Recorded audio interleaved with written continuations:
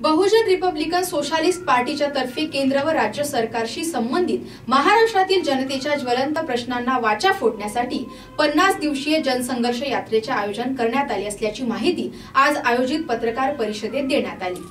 राज्याच्या समतोल विकासासाठी पुरेसा निधी व पायाभूत सोयी सुविधा उपलब्ध करण्यात याव्या ओबीसी जनगणना स्वतंत्र मंत्रालय व लोकसंख्या प्रमाणात निधी वाटप करण्यात यावे यासह इतर मागण्यांसाठी ही जनसंघर्ष यात्रा काढण्यात येणार असून या पन्नास दिवसीय यात्रेच्या माध्यमातून सभा भेटी याद्वारे नागरिकांमध्ये जनजागृती करण्यात येणार असल्याची माहिती यावेळी बहुजन रिपब्लिकन सोशालिस्ट पार्टीच्या वतीने देण्यात आली. मी advocate Bhupendra Raipure Bahujan Republican Socialist पक्षाचा विदर्भ प्रदेशचा उपाध्यक्ष आहे.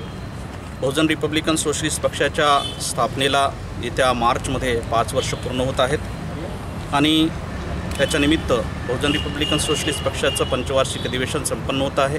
आणि त्यापूर्वी बहुजन रिपब्लिकन सोशलिस्ट पक्षाची जनसंघर्ष यात्रा तीन जानेवारी दोन हजार एकवीसपासून सात मार्च दोन हजार एकवीसपर्यंत अशी पन्नास दिवसांची जनसंघर्ष यात्रा संपूर्ण महाराष्ट्रभर जाते आहे. त्या जनसंघर्ष यात्रेच्या माध्यमातून राज्य आणि केंद्र सरकारच्या पातळीवरच्या वेगवेगळ्या विषयांना जनसामान्यांच्या रेट्याच्या माध्यमातून सरकारांच्या पुढे आणणे आणि त्यांच्या प्रश्नांना वाचा फोडण्याचा उद्देश आहे.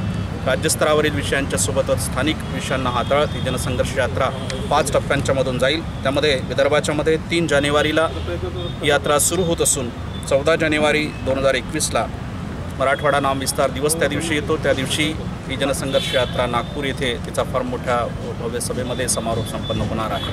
ही यात्रा चंद्रपूर जिल्ह्याच्यामध्ये दिनांक सात आणि आठ जानेवारीला ही असणार आहे. आठ जानेवारीला गांधी चौकाच्यामध्ये भव्य सभेच्या माध्यमातून या जिल्ह्यातल्या फिरणाऱ्या यात्रेचा समारोप संपन्न होईल. त्याला स्वतः पक्षाचे संस्थापक अध्यक्ष आदरणीय प्राध्यापक डॉक्टर सुरेश माने सर उपस्थित राहतील. ही संपूर्ण यात्रा प्राध्यापक डॉक्टर सुरेश माने सरांच्या नेतृत्वाच्यामध्ये महाराष्ट्रभर फिरत आहे.